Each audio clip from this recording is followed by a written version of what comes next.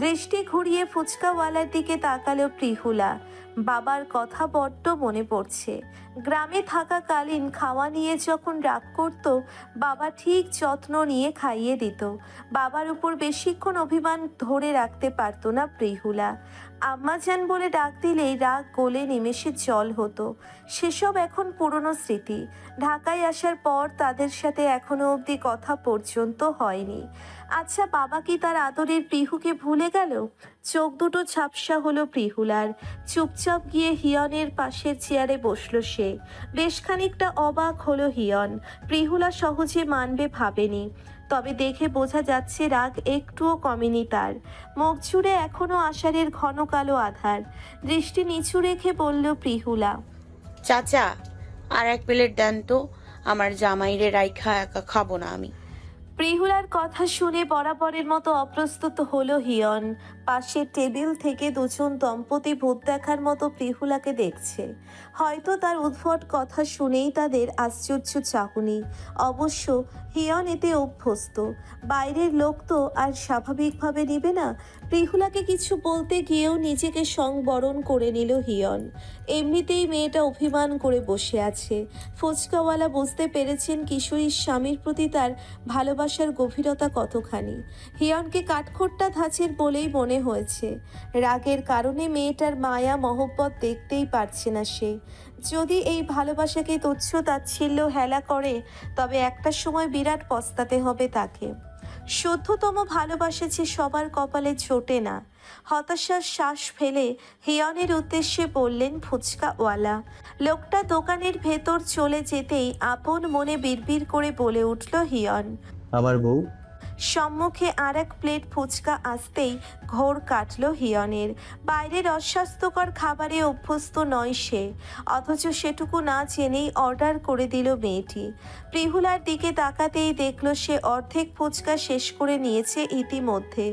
এতক্ষণ তো দিব্যি বলছিল, স্বামীকে ছাড়া নাকি খাবে না? কিয়ৎক্ষণ তাকিয়ে থেকে ফুচকাওয়ালার উদ্দেশ্যে বলল হিয়ন, আঙ্কেল, একটু আগে বললেন না বউয়ের থেকে যেন ভালোবাসাটা শিখে নেই? এবার তাহলে আমার বউকে বলুন তো, আমাকে যেন সে হাতে তুলে খাইয়ে দেয়। তাহলেই তো ভালোবাসাটা শিখতে পারব ঠিকঠাক। হিয়নের কথা শুনে মুখে ফুচকা সমেত গোল গোল চোখে তাকিয়ে রইল প্রিহুলা। মুহূর্তেই চিবাতে ভুলে গেল সে। ভয়ার্থ দৃষ্টি ফেলে তাকিয়ে রইল হিয়নের পানে। অদ্ভুত এক রহস্যময় হাসি হিয়নের ওষ্ঠ জুড়ে। এই মুহূর্তে রুষ্ঠ পুরুষের মস্তিষ্কে ঠিক কী চলছে জানা নেই। তবে এইটুকু বোঝা যাচ্ছে প্রিহুলাকে কুপকাত করার ধান্দায় আছে সে। দোকানের ভেতর থেকে প্রিহুলার উদ্দেশ্যে বললেন, ফুচকাওয়ালা। হিয়নের তীর্যক দৃষ্টির দিকে তাকিয়ে বার কয়েক চোখের পাতা ঝাপটালো প্রিহুলা। মুহূর্তেই মুখের ফুচকাটুকু ফেলে দিয়ে উঠে দাঁড়াল। কাঁদো কাঁদো মুখে অস্থির হয়ে বলল জামাই, ফুচকা তো অনেক ঝাল। ইস, আমার জিভ্বাটাই জ্বলে যাইতেছে। পানি কই? প্রিহুলার এরূপ আচরণে বিচলিত হলো হিয়ন। ব্যস্ত হয়ে দ্রুত উঠে গিয়ে দোকানের ভিতর থেকে পানি নিয়ে আসলো। ফুচকাওয়ালা অবাক দৃষ্টি নিয়ে তাকিয়ে আছেন। সে তো এতটাও ঝাল দেয়নি, যেটা সহ্য করার মতো নয়। এক গ্লাস পানি পুরোটুকু শেষ করে নিয়ে দম ফেলল প্রিহুলা। হিয়নের কপাল জুড়ে চিন্তার সূক্ষ্ম ভাজ, বরাবরের মতো প্রিহুলার উপর প্রচণ্ড ক্ষিপ্ত সে। শুরুতে তো ঠিক ঝাল লেগেছিল জিভে, তাহলে এতগুলো খাওয়ার কি দরকার ছিল? কিছু সময় পার হতেই ফের প্রিহুলা চেয়ার টেনে বসল। ফুচকার প্লেট নিচের দিকে টেনে নিতেই প্রিহুলার হাত চেপে ধরে পাত সাধল হিয়ন। গম্ভীর ভরাট রাগত্ব স্বরে বলল ঝাল শেষ? হিয়নের দিকে তাকিয়ে উপর নিচ মাথা দুলিয়ে হ্যাঁ বলল প্রিহুলা। পরক্ষণে হাত টেনে এক ঝটকায় প্রিহুলাকে চেয়ার থেকে দাঁড় করালো হিয়ন। হতভম্বের মতো জড়সড় হয়ে দাঁড়িয়ে রইল প্রিহুলা। চোখ মুখ ছুড়ে ভয়, পকেট থেকে ওয়ালেট বের করে বিল পরিশোধ করল হিয়ন। প্রিহুলা তাকিয়ে আছে টেবিলে পড়ে থাকা অবহেলিত ফুচকার প্লেটের দিকে। মন বেজায় খারাপ হয়ে গেল তার। হিয়নের দিকে তাকিয়ে বলল, জমাই, খাবার নষ্ট করা তো ঠিক না। আপনার প্লেটের ফুচকা তো পুরাটাই পইরা আছে, টাকা তো ঠিকই দিছেন। তার চেয়ে ভালো কষ্ট করে ঝাল ফুচকাই খাইয়া ফেলি। প্রিহুলার কথার প্রতি উত্তরে কেবল রাগত্ব দৃষ্টি ফেলে তাকালো হিয়ন। মুহূর্তেই মুখটা চুপসে গেল প্রিহুলার বাকি আর কথা বাড়ায় না সে। যেচে প্রলয়ঙ্কারী ঝড় ডেকে আনার কোনো রকম ইচ্ছে নেই। গাড়ির সামনে আসতেই প্রিহুলার হাত ছেড়ে দিল হিয়ন। বাধ্য মেয়ের মতো উঠে বসল প্রিহুলা আচমকা কোথাও একটা চলে গেল হিয়ন। ফিরে আসলো মিনিট পাঁচ পরে। হাতে কর্নেটো আইসক্রিম, একটা আইসক্রিম দেখে আর এক দফা চমকে উঠল প্রিহুলা। লোকটা বাইরে বের হলেই কি মুখে কুলু পেটে রাখে? কিছুই খায় না। ডাক্তার বলে কি এতটাই সচেতন? গাড়িতে উঠে প্রিহুলার দিকে আইসক্রিম বাড়িয়ে দিয়ে বলল, হিয়ন। এটা খেলে ঝাল কমে যাবে। চুপচাপ হাতে নিয়ে সেটা খুলে খাওয়া শুরু করল প্রিহুলা। কিছু পলক তাকিয়ে থেকে গাড়ি স্টার্ট দিল হিয়ন। জানালা গলে মৃদুমন্দ বাতাস আসতেই দৃষ্টি বাইরে রাখল প্রিহুলা। চারিদিকে গিজগিজ করছে লোকজনে। গাড়ির তীব্র হর্নে বিরক্ত ধরাচ্ছে। ফুটপাত ধরে কত পথচারী হেঁটে যাচ্ছে। তাদের মাথার উপর চলছে নিয়ন আলো। উঁচু উঁচু ইমারতগুলো আলোক রশ্মিতে জাঁকজমকপূর্ণ হয়ে আছে। দীর্ঘশ্বাস ফেলে সবকিছু দেখছে প্রিহুলা। এই শহরে সে ক্ষণিকের অতিথি পাখি কেবল। মুহূর্তেই চোখ দুটো ঝাপসা হলো। এদিকে হাতের আইসক্রিমটুকু গলে একাকার। সেদিকে ভ্রুক্ষেপ নেই। ঘড়ির কাটা রাত নয়টায়। ফোনালাপে ব্যস্ত লাইলা খাতুন। গ্রাম থেকে ফোন এসেছে। রাশিদা ফোন করে টুনির খোঁজ খবর নিচ্ছেন।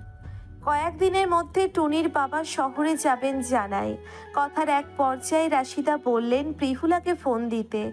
রেনু বেগম কথা বলবেন জানান, লাইলা খাতুন কিছু বলার পূর্বেই কলিং বেল বেজে উঠল। তুলে গিয়ে দরজা খুলে দিল। হরহর করে রুমে প্রবেশ করল প্রিহুলা। কাঁধে স্কুল ব্যাগ, থমথমে মুখে লিভিং রুমে প্রবেশ করল হিয়ন। কোনো রকম কথা না বলে নিজের রুমের দিকে চলে গেল সে। লাইলা খাতুন প্রিহুলাকে ডাকতেই হাসি মুখে এগিয়ে আসলো সে।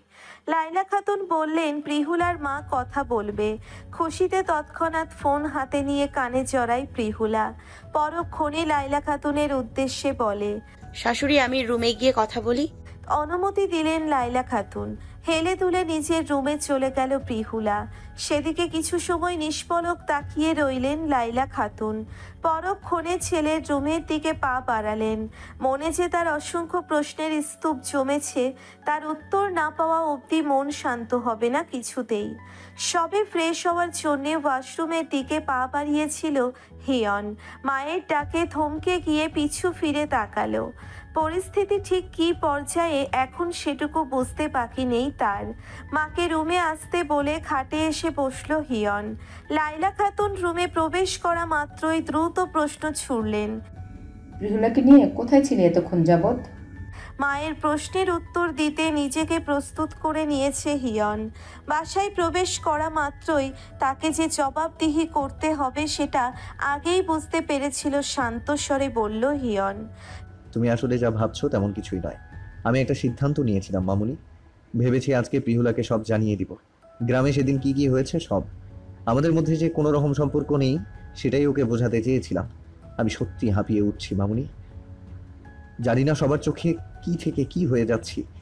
আমার মনে হয়েছে প্রিহুলাকে সবটা জানিয়ে দিলে অন্তত সে আমার সামনেও আসবে না। মামুনি, তুমি যখন ওর দায়িত্ব নিয়েছো, সামলাও। হিয়নের কথা শুনে আটকে উঠলেন লাইলা খাতুন। চেহারা জুড়ে তার চিন্তার ভাঁজ। ছেলের এই সিদ্ধান্ত নেওয়াটা মোটেও উচিত হয়নি। অন্তত একবার মাকে জানানোর প্রয়োজন ছিল। চিন্তিত স্বরে বললেন লাইলা খাতুন, তার মানে মেয়েটাকে সব জানিয়ে দিয়েছিস তুই? হিউন পরিস্থিতি এখন বেহাল দশায় চলে যাবে। তুই এটা করার আগে অন্তত আমাকে একবার জানাতি? মেঝে থেকে দৃষ্টি তুলে মায়ের দিকে তাকালো হিয়ন। ধীর কণ্ঠে বলল আমি প্রিহুলাকে কিছুই জানাতে পারিনি মামনি। সব কিছু বলেছিলাম কিন্তু মেয়েটা শোনেনি। তার আগেই ওই স্থান থেকে চলে গিয়েছিল। সে সময় প্রচণ্ড রাগ উঠে গিয়েছিল আমার। পরবর্তীতে তাকে বোঝানোর মতো আর অবশিষ্ট ধৈর্য ছিল না। তাই বাসায় চলে এসেছি। স্বস্তির নিঃশ্বাস ফেললেন লাইলা খাতুন। শান্ত স্বরে বললেন শোনেনি যখন ভালো হয়েছে। মেয়েটা তো একটা নির্বোধ। কথাবার্তা দেখেছিস? কীভাবে বলে? কি ভেবেছিস? এই মেয়েকে বোঝাতে পারবি তুই? সব কিছু বলার পর যদি মেয়েটা গ্রামে ফিরে যেতে চায়, আটকে রাখতে পারবি। আর যে উদ্দেশ্যে তাকে নিয়ে এসেছি, তা তো পূরণ হবেই না। তার চেয়ে বড় কথা, গ্রামের লোকগুলো কি এত সহজেই ছেড়ে কথা বলবে?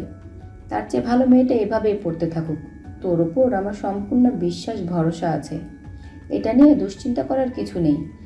এই মেয়ে কি বলল না বলল এতে কিছু যায় আসে না আমাদের। চুপচাপ মনোযোগ নিয়ে মায়ের কথা শুনল হিয়ন। এত কিছু তার মাথায় ছিল না। অতিষ্ঠ হয়ে সে এক প্রকার ভুল সিদ্ধান্তই নিয়েছিল। তবে মনে হচ্ছে মেয়েটার থেকে তাকে আরও দূরত্ব বজায় রাখতে হবে। দীর্ঘশ্বাস ফেলে বললেন লাইলা খাতুন। সেদিন মেয়েটার পড়াশোনার দায়িত্ব নেইনি শুধু। প্রিহলার সম্মানটুকুও বাঁচিয়েছি। বিয়ে ভাঙার ফলে গ্রামের মানুষ প্রিহলার চরিত্র নিয়ে নানা রকম কথা তুলেছিল। গ্রামে এখনও তোর চাচা পুকুরা থাকেন। তোর দাদার ভালো নাম ডাক আছে। সেখানে তোকে জুড়ে দিয়ে বিষয়টা বিচ্ছিরিভাবে রটিয়ে দিত। কিছু মানুষ সর্বক্ষণ উৎ পেতে থাকে অন্যের সর্বনাশ করার জন্য। হয়তো সেদিন রাগের বসে তোকে ফিরিয়ে নিয়ে আসতে পারতাম। কিন্তু মেয়েটার চরিত্রে গাঢ় দাগ তো পড়তই, তা আর ব্যাপারী বাড়ির বদনামও হতো। সব মিলেই আমি বিয়ে করার সিদ্ধান্ত নিয়েছিলাম। সময় আসুক, তখন সমস্ত কিছুর জবাব সবার মিলবে। মায়ের কথাগুলো যুক্তিযুক্ত মনে হলো হিয়নের। সেদিন প্রচণ্ড রাগে ঠিক ভুল মাথায় ছিল না। আসলে যুবক বয়সে রক্ত গরম হলে তখন হিতাহিত জ্ঞান থাকে না। হিয়নের বেলায় সেটাই হয়েছিল। সে তো সামান্য অন্যায়ের প্রতিবাদ জানাতে গিয়েছিল। এখন গোটা গ্রাম মিলে তাকে দোষী বানিয়ে ছেড়ে দিল। ছেলেকে ফ্রেশ হতে বলে প্রস্থান করলেন লাইলা খাতুন। বন্ধ কারুকার্য খচিত কাঠের দরজার দিকে ঘোলাটে দৃষ্টি ফেলে তাকিয়ে আছে প্রিহুলা। লোচন বেয়ে নেমেছে লোনা স্রোত। ফোনের ওপাশে রেনু বেগম কাঁদছেন। চোখ মুছে নিয়ে ভাঙা আওয়াজে বলল প্রিহুলা, মা, তোমরা তো একবারও আমারে দেখতে আসলা না। আজকে কতদিন পর ফোন দিলা। কেন আমারে বিয়া দিয়ে দিলা মা? আর কয়টা দিন বাপের ঘরে থাকলে মহা অপরাধ হইয়া যাইতো? ফোনের ওপাশ থেকে রেনু বেগমের কান্নার শব্দ শোনা যায়। মেয়ের খোঁজে প্রতিদিনই তারা ব্যাপারী বাড়িতে এসেছিলেন। জহির নানান বাহানায় এড়িয়ে গেছে। কথা পর্যন্ত ভালো করে বলেনি প্রিহুলার বাবার সাথে। শহরের ঠিকানাটুকুও দেয়নি। কীভাবে মেয়ের সঙ্গে যোগাযোগ করতেন তারা? ব্যবসার কাজে অন্য জেলায় গেছে জহির। সেই সুযোগেই রাশিদার ফোন থেকে মেয়েকে কল করেছেন রেনু বেগম। মেয়ে সুখে আছে, ভালো আছে শুনে মন অনেকটা শান্তি হয়েছে। আশ্বস্ত স্বরে বললেন রেনু বেগম, তোর বাপের তো কাজ আছে জানোসই পুকুরের মাছ নিয়ে ঝামেলাই ছিল। সামনের সপ্তাহে নাকি তোর চাচা শ্বশুর তার মেয়েরে দেখতে ঢাকায় যাইব। তখন তোর বাপেও যাইব। মায়ের কথা শুনে প্রচণ্ড খুশি হলো প্রিহুলা। চট করে বলল মা পিহাল রেও পাঠাইও। বাবুর কথা জিগায় না? হ জিগাই তো। আচ্ছা তোর বাপে নিতে চাইলে পাঠাইব। কথার মাঝখানে হুট করে লাইন কেটে গেল। রাশিদা ফোন হাতে নিয়ে দেখল ব্যালেন্স শেষ। ফোনটা খাটে ফেলে হাঁটুতে মুখ গুজে ফুপিয়ে কেঁদে উঠল। প্রিহুলা ইচ্ছে করছে গলা ফাটিয়ে চিৎকার করতে। প্রেতরের কষ্ট যন্ত্রণায় হাঁপিয়ে উঠেছে সে। আজকে নদীর পারে হেয়নের বলা কথাগুলো দিব্যি শুনে নিয়েছিল। সেই মুহূর্তে কি উত্তর দিত প্রিহুলা? তাই নীরবেই চলে গিয়েছিল সেখান থেকে। পড়াশোনা নিয়ে অনেক স্বপ্ন ছিল প্রিহুলার। বাবা মা হুট করেই বিয়ে ঠিক করে ফেলল। আর নিজের বিয়ের কথা বিয়ের দিনই জেনেছিল প্রিহুলা। এমন সৌভাগ্য কয়জন মেয়ের হয়? ইচ্ছে করছিল সব কিছু ছেড়ে পালিয়ে চলে যেতে। বাবা মায়ের প্রতি প্রচণ্ড রাগ, ক্ষোভ জন্মেছিল। তার মতামতটুকুও জানবার প্রয়োজন করেনি তারা। বারংবার মনে প্রাণে চাইছিল, বিয়েটা ভেঙে যাক দুঃস্বপ্নের মতো। তখনই আচমকা বিয়েতে হট্টগোল পড়ে। কোনো এক আগন্তুক নাকি হুট করেই এসে বাল্য বিয়ে নিয়ে প্রতিবাদ জানায়। সেই মুহূর্তে প্রিহুলার চেয়ে বেশি খুশি কেউই হয়নি। মনে মনে অচেনা লোকটার প্রতি কৃতজ্ঞতা প্রকাশ করেছিল সেদিন। খানিক্ষণ পরেই খবর আসলো, এই ছেলেটির সঙ্গেই প্রিহুলার বিয়ে ঠিক করেছে গ্রামবাসী আর মাতব্বর। ছেলের মা নাকি স্বেচ্ছায় রাজি হয়েছেন। বিষয়টা খুবই আশ্চর্য করল প্রিহুলাকে। এদিকে মহিলাদের বিশ্রী রকম কথায় গা গুলিয়ে উঠছিল কেমন, তবে নিজের কাছে কেমন লজ্জিত ছিল প্রিহুলা। অচেনা ছেলেটি উপকার করতে এসে উল্টে ঝামেলায় ফেসে গেল। প্রতিবাদ করার মতো কোনো রাস্তা ছিল না তার। বিয়ের পরে লাইলা খাতুন প্রিহুলার মাকে ঠিক কি বলেছিল, সেগুলো খুব করে মনে আছে প্রিহুলার। ওনার ঠিক কী উদ্দেশ্য সেটুকু বেশ বুঝতে পেরেছিল। তখনও অজানা ছিল তাকে সুদূর ঢাকায় পাড়ি দিতে হবে। বিয়ে শেষ হতেই বর একা চলে গিয়েছিল। সেজন্য হিয়নকে আর দেখা হয়নি প্রিহুলার। বিয়ের দিন রাতে লোকটা যখন রুমে প্রবেশ করেছিল, ঘুমের ভাব ধরে ভয়ে আড়ষ্ট হয়ে শুয়েছিল সে। হিয়ন যখন নীরবে বারান্দায় চলে গেল, তখনই বুঝতে পেরেছিল এর মতো শুদ্ধ নিষ্কলুষ পুরুষ বোধহয় আর হয় না। পরদিন সকালে পেয়ারা বাগানে প্রথম হিয়নকে দেখেছিল প্রিহুলা। কিশোরী মনে প্রথম ভালো লাগার উদয় হয়েছিল। সেটুকু তোয়াক্কা করেনি। চাঁদ ধরবার দুঃসাহস যে করা যায় না। তার তীব্র আলোয় ঝলসে যাবে সব। মাথায় তখন অনাকাঙ্ক্ষিত জীবন নিয়ে চিন্তা হচ্ছিল। হিয়নের হাবভাবে বেশ বোঝা গিয়েছিল, সে প্রিহুলাকে একটুও মেনে নেয়নি। এমনটাই তো হবে স্বাভাবিক।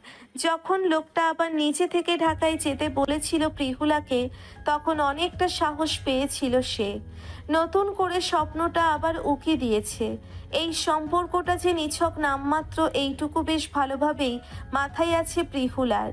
মাঝে থেকে যদি একটু সাহায্য পেয়ে তার স্বপ্ন পূরণ হয়, তবে মন্দ কি? পরক্ষণে চট করেই ঢাকার আসার সিদ্ধান্তটুকু নিয়ে নিয়েছে সে। আর এখানে এসেই শুরু হয়েছে নতুন করে জীবন যুদ্ধ আর লড়াই। খুব সূক্ষ্মতার সহিত দিনের পর দিন অভিনয় করে যাচ্ছে প্রিহুলা। তার সব বোধবুদ্ধি আছে, এটা সবার জানা থাকলে এতদিনে বিচ্ছেদটা হয়েই যেত।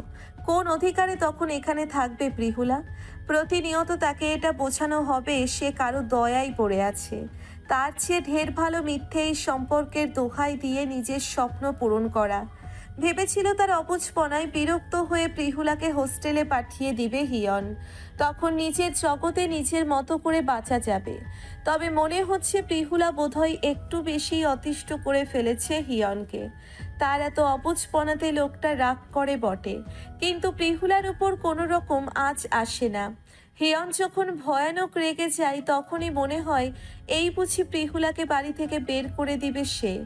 নয়তো ঠাস করে থাপ্পড় বসিয়ে দেবে। প্রিহুলাকে অবাক করে দিয়ে নিজের রাগটুকু সংগোপনে গিলে নেয় হিয়ন।